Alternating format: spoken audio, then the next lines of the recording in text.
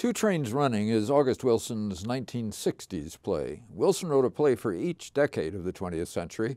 Like Two Trains Running, most of them are set in the Hill District, a black section of Pittsburgh.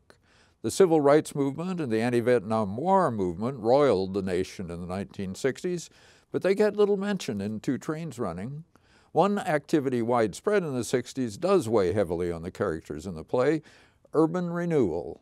White flight had hollowed out the population and the resources in the central cities. Now city fathers are trying to draw people back into the city by replacing the crumbling buildings with shiny new ones. Two Trains Running takes place in Memphis Lee's Cafe, a realistic set by Andrew Carey, lighted by Nathan Schrader. Once crowded with customers, it's been reduced to a few regulars who drop by.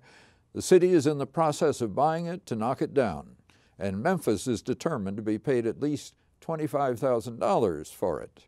At the Clayton Community Theater, the role gives us another fine performance by Archie Coleman, who energizes Memphis's long, determined rants.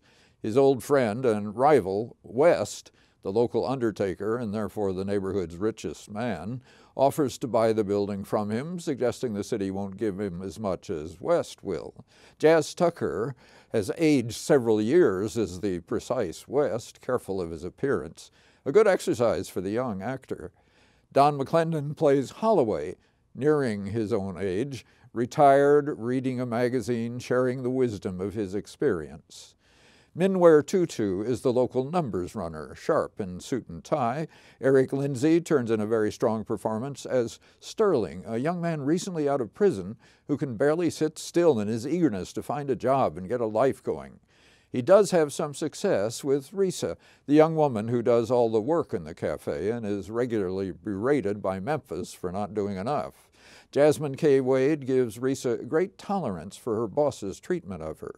Each of these people pursues his or her own life, but the mentally damaged Hambone, in a convincing performance by Jeremy Thomas, gives them an opportunity to show that they do share something as a community, a sharing created by director Nada Vaughn. They also share August Wilson's language, which makes listening to it almost as gratifying as listening to Shakespeare's in Hamlet. And maybe it is the ferment of the 60s that makes Memphis believe that now he can return to some land he claims to own in Jackson, Mississippi, from which white men chased him, nearly at the cost of his life, back in the 1930s. There are two trains running every day from Pittsburgh to Jackson. This was the second August Wilson play Clayton Community Theater has brought us, and I hope they keep coming. Ah, I do too.